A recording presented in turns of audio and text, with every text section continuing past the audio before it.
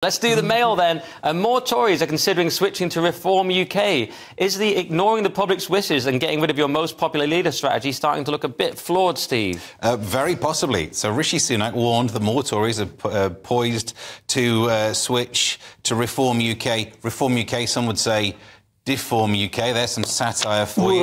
Um, no idea what that means. Double no, so this is following Lee Anderson and um, the defection, a man who said that there was a lot of political soul searching involved. Now, I I think this is balanced, isn't it? I, you know, he might beat me up afterwards, but um, a lot of soul searching or being suspended by the party that you were in. Like, if he hadn't have had the whip removed, that soul searching would have searched less, possibly, for another party. It's like when Suella got fired and then wrote a letter like she was forced to resign. I couldn't stand it here anymore. It was the firing that probably meant that she left. But it's definitely a bad day for the Tories. It's a great day for Reform UK. It's an even better day for Keir Starmer. He must be absolutely loving this. Split the vote down the right. Uh, and it was announced by Reform leader Richard Tice, a man... Someone called him a pound shop Nigel Farage once. And it was Lee Anderson who did that, so that's interesting. And uh, he's, he's got a high opinion of a pound shop when your nickname's 30p. Well, that's politics, are... Steve. You know, it's locker room talk. Then you switch to another party. you know, you change what you say. I'm not too worried about that. Though it, it was a massive Tory own goal. I mean, why suspend him for having a pop at Sadiq Khan? That's. I mean, everyone does that. That's what we, we do that every night. We wouldn't have any work. I mean, it was it was an overreaction, and then James Cleverly sort of doubled down and put him out in the cold even more. So he had he had no choice really. I thought it was a very strange decision. It's going to hurt the Tories because he is a very popular figure on the doorstep, as they say. Paul, what do you think? Well, if he becomes the Pied Piper and two, three, four, five, six, seven, eight, nine others go, then it's a much bigger story. Lee Anderson going to UK reform um, is no surprise. I mean, it's a huge story today and now because Reform UK have got their first ever uh, MP, which is which is big news.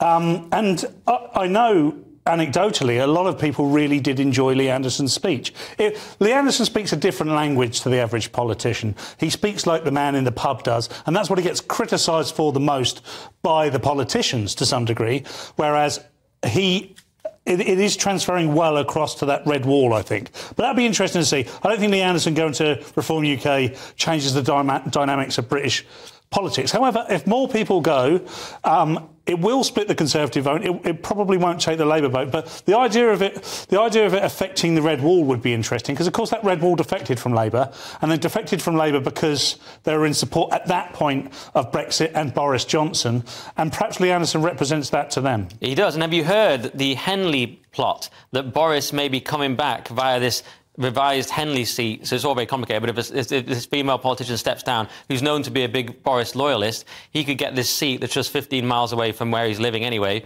This all lining up for Boris to come back because let's face it, they can't really do any worse. Rishi's not popular. He was never voted in by anyone. This is a genuine possibility now. And guess who else is, is eyeing it up slightly, maybe, they think? Lord Cameron.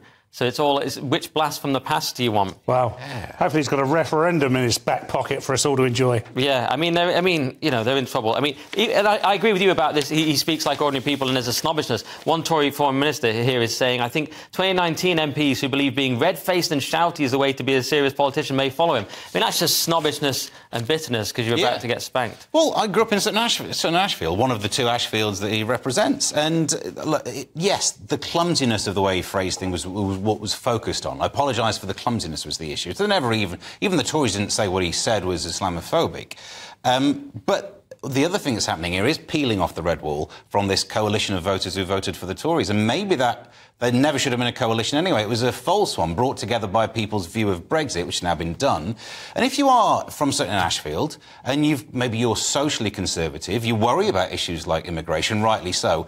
Do you actually want to vote for a, a party that's going to borrow to spend on tax cuts for the rich? That's not going to help you as you're working right. down Pretty Polly. Yes, absolutely. It's very interesting. Could we have uh, a total realignment in politics as well? Let's see.